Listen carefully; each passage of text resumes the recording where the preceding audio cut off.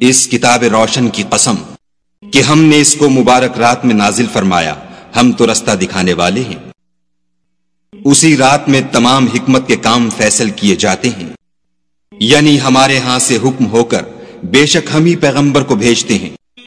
ये तुम्हारे परवरदिगार की रहमत है, वो तो सुनने वाला, जानने वाला है।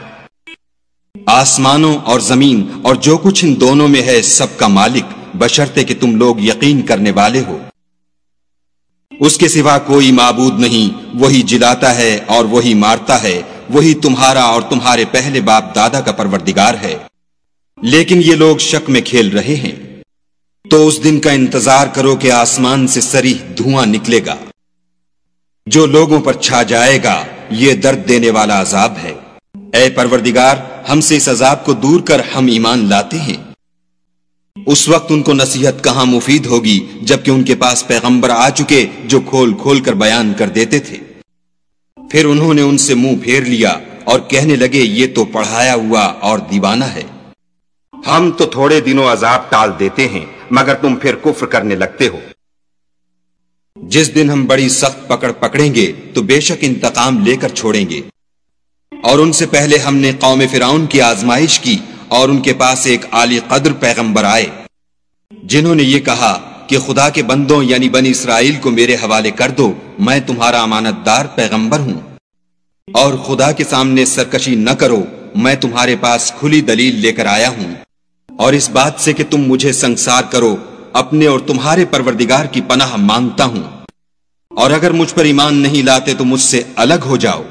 तब मूसा ने अपने परवरदिगार से दुआ की कि ये नाफरमान लोग हैं। खुदा ने फरमाया कि मेरे बंदों को रातों रात लेकर चले जाओ और फिर ज़रूर तुम्हारा ताकुब करेंगे। और दरिया से कि खुश्क हो रहा होगा, पार हो जाओ, तुम्हारे बाद उनका तमाम लश्कर डुबो दिया जाएगा। वो लोग बहुत से बाग और चश्मे छोड़ गए, और खेतियाँ और नफीस मकान, और आराम की चीज़ें जिनमें ऐश किया करते थे। इसी तरह हुआ और हमने दूसरे लोगों को उनका मालिक बना दिया। फिर उन पर ना तो आसमान और ज़मीन को रोना आया, और ना उनको मोहलत ही दी गई। और हमने बनी इसराइल को जिल्लत के अजाब से नजात दी। यानी फिरौन से बेशक वो सरकश और हद से निकला हुआ था। और हमने बनी इसराइल को अहले आलम से दानिस्ता मुंतखब किया था। और उनको ऐसी निशानियाँ दी थीं, जिनमें सरीह आजमाइश थी। ये लोग ये कहते हैं कि हमें सिर्फ़ पहली दफ़ा, यानी एक बार मरना है और फिर उठना नहीं। बस अगर तुम सच्चे हो तो हमारे बाप दादा को ज़िंदा कर लाओ। भला ये अच्छे हैं या तुब्बा की कौम, और वो लोग जो तुमसे पहले हो चुके हैं, हमने उन सबको हलाक कर दिया। बेशक वो गुनाहगार थे। और हमने आसमानों और ज़मीन को, और जो कुछ उनमें है, उनको खेलते हुए नहीं बनाया। उनको हमने तदबीर से पैदा किया है, लेकिन अक्सर लोग नहीं जानते।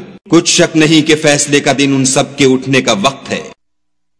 जिस दिन कोई दोस्त किसी दोस्त के कुछ काम ना आएगा और ना उनको मदद मिलेगी, मगर जिस पर खुदा मेहरबानी करे, वो तो गालिब और मेहरबान है। बिलाशुबा थोहर का दरख्त, गुनाहगार का खाना है। जैसे पिघला हुआ तांबा पेटों में इस तरह खोलेगा, जिस तरह गर्म पानी खोलता है। हुक्म दिया जाएगा कि इसको पकड़ लो और खींचते हुए दोजक के बीचों बीच ले जाओ। फिर उसके सर पर खालता हुआ पानी उंडेल दो कि अजाब पर अजाब हो। अब मज़ा चख, तू बड़ी इज़्ज़त वाला और सरदार है। ये वही दोजक है जिसमें तुम लोग शक किया करते थे। बेशक परहेजगार लोग अमन के मकाम में होंगे, यानी बागों और चश्मों में। हरीर का बारीक और दबीज लिबास पहनकर एक दूसरे के सामने बैठे होंगे। वहाँ इस तरह का हाल होगा और हम बड़ी बड़ी आँखों वाली सफ़ेद रंग की औरतों से उनके जोड़े लगाएँगे। वहाँ खातिर जमा से हर किस्म के मेवे मंगाएँगे और खाएँगे। और पहली दफ़ा के मरने के सिवा कि मर चुके थे, मौत का मज़ा नहीं चखेंगे और खुदा उनको दोजक के अजाब से बचा लेगा। ये तुम्हारे परवरदिगार का फजल है, यही तो बड़ी कामयाबी है। हमने इस कुरान को तुम्हारी जबान में आसान कर दिया है, ताकि ये लोग नसीहत पकड़ें।